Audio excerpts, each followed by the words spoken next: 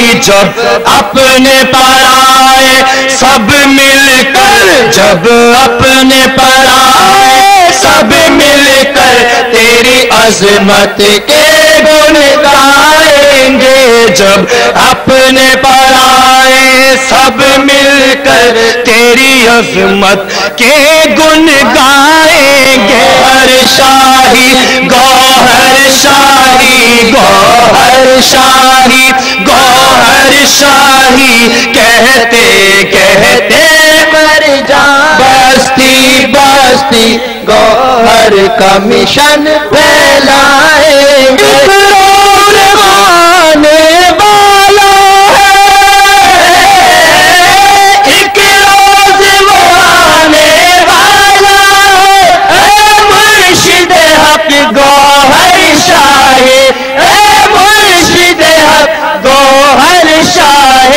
जब अपने पर आए सब मिलकर जब अपने पर आए सब मिलकर तेरी अजमत के अल्लाह पर नारे तेरा शाही मेरा शाही। गौहर शाही गौहर शाही। दीन नबी का सच्चा दाई। गौहर शाही गौहर शाही। मेरा सच्चा माही। गौहर शाही गौहर शाही जिनसे हमने नेमत पाई। गौहर शाही गौहर शाही जो है मेरे दिल का माही। गौहर शाही गौहर शाही मेरा तेरा कौन है माही? गौहर शाही गौहर शाही दुनिया पर है किसकी शाही? गौहर शाही गौहर शाही सच्चा माही पक्का माही। गौहर शाही गौहर शाही मोमिनों के दिल का माही। गौहर शाही बिला ताखिर दावत खिताब दे रहा हूँ। अंजुमन सरफुरशान इस्लाम के मरकजी सदर जनाब मोहम्मद आरिफ मेमन साहब को जो आज हैदराबाद से तशरीफ़ लाए कि आए, अंजुमन के अगराज मकासद पेश फरमाए। जनाब मोहम्मद आरिफ मेमन।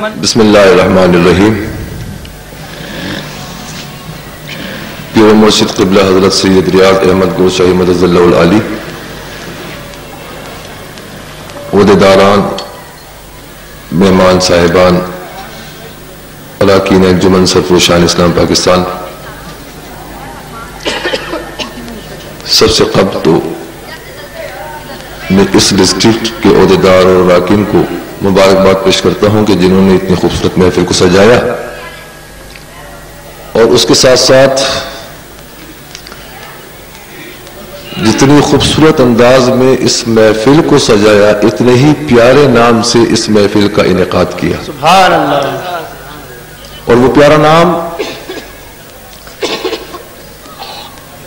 कि जो इस आलम की भी जान है और वो खूबसूरत नाम कि जो अंजुमन सरफरोशान इस्लाम का मरकज और महवर भी है। इसलिए कि अंजुमन सरफरोशान इस्लाम पाकिस्तान इसी नाम, अल्लाह के नाम की प्रचार को आम करने की कोशिश में मारिज वजूद में अमल में आई।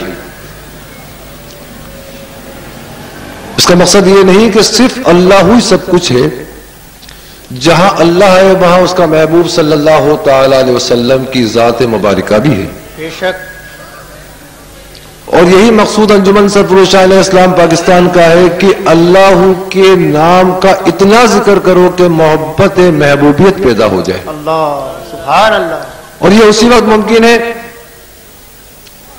कि जब प्यारे महबूब के पाक नाम को हम उसी वक्त कर सकते हैं और अपने सीनों में बसा सकते हैं जब हम अपने सीने को भी उस पाक नाम के वजूद को कायम करने के लिए सीने को भी पाक कर ले। और यकीनन सीना या दिल उसी वक्त पाक हो सकता है कि जब हम इस दिल के अंदर और इस सीने के अंदर अल्लाह के नाम नामी इसमें गिरामी को बसा लें। सुभान अल्लाह बेशक। और इस नाम को बसाने के लिए और बसाने के तरीके को बताने के लिए अंजुमन सरफरुशान इस्लाम पाकिस्तान वजूद में आई। यह हकीकत है कि इबादत इलाही के मुख्तलिफ़ तरीके और जराए हैं।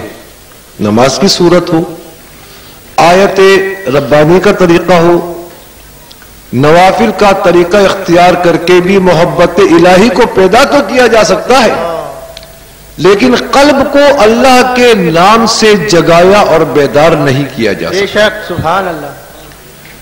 ये इबादत कुर्ब कुर्ब इलाही को हासिल करने का ज़रिया तो बन सकती है लेकिन अल्लाह की आमाजगा नहीं बना सकती।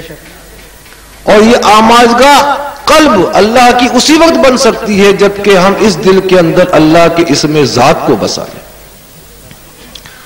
और ये सिलसिला रूहानियत मार्फत इलाही को हासिल करने का ज़रिया होता है। मुझे इस मौके पर एक वाक़ याद आता है कि जब सिकंदर आज़म अपने आला मनसब पर फाइज हुआ और दरबार में बैठा हुआ था कि वालिद मोहतरम का गुजर होता था तो सिकंदर आज़म अपनी नशिस्त पे बैठा रहता था। लेकिन जब एक नामालूम शख्स आता था तो उसको देखकर सिकंदर आज़म खड़ा हो जाया करता था। उमरा और वजरा ने पूछा कि सिकंदर आज़म, ये कौन शख्स है कि जिसको देखकर तुम खड़े हो जाते हो और जब तुम्हारा वालिद आता है तो तुम बैठे रहते हो? कौन शख्स है और उसकी क्या वजह है? तो सिकंदर आज़म कहता है कि ये मेरा बाप है और वो बाप है कि जो मुझे ऊपर से नीचे लेकर आया। और जिसको देखकर मैं खड़ा हो जाता हूँ, ये वो मेरा बाप है कि जिसकी वजह से आज मुझे ये मनसब, मुझे ये मनसब मिला। तो अंदाज़ा लगाएँ कि एक उस्ताद दुनियावी उस्ताद उसका मुकाम ये होता है कि जो पस्ती से बुलंदे की तरफ़ ले जाता है तो जो रूहानी उस्ताद हो उसका तो मुकाम और मरतबा ये आता है कि वो दुनिया से अल्लाह से मिला देता है। अंजुमन सरफुलशान इस्लाम पाकिस्तान यही पैगाम देना चाहती है कि अपने कल्ब को अल्लाह की आमाजगा बनाओ। और उस नाम का प्रचार करने के लिए मारिज वजूद में आई कि जिस नाम के लिए अल्लाह पाक ने इस कायनात को बनाया और उस नाम को रोशनास कराने के लिए अंजुमन सरफुलशान इस्लाम को कायम किया गया कि जिस मकसद के लिए सरकार दोआलम सल्लल्लाहु अलैहि वसल्लम इस दुनिया में तशरीफ़ लाए। और आपका पैगाम भी यही तोहिद का पैगाम था। आपका पैगाम भी यही अल्लाह का पैगाम था। और आपके पैगाम के ज़रिए ही उस जमाने में मोमिनों ने अल्लाह की मार्फत को हासिल किया। और अल्हम्दुलिल्लाह, अंजुमन सरफुलशान इस्लाम, पाकिस्तान, आज किबला सरकार शाह साहब की सरपरस्ती के अंदर लोगों के कलूबों को बेदार कर रही है जगा रही है ताकि अपने अपने ज़िंदगी के मकसद को भी पहचाने और मार्फत इलाही को भी हासिल करें। बुलाओ वो आवाज़ जिन्होंने आज लाखों नौजवानों के दिलों को इस मिजाज से गरमाया आप तक पहुंचाकर ताकि अल्लाह ताला की बारगाह में आप भी एक रास्ता तलाश कर सकें। दावत खिताब दे रहा हूँ अपने मोहतरम बानी किबला सरकार रियाज अहमद गौहर शाही दामद बरकत मलालिया को इस्तकबाल फरमाए, नारे तकबीर नारे नारे औज़बिल्लाशैतानरजीम बिस्मिल्लाहिर्रहमानिर्रहीम। अज़ीज़ साथियों, अस्सलाम वालेकुम और कुछ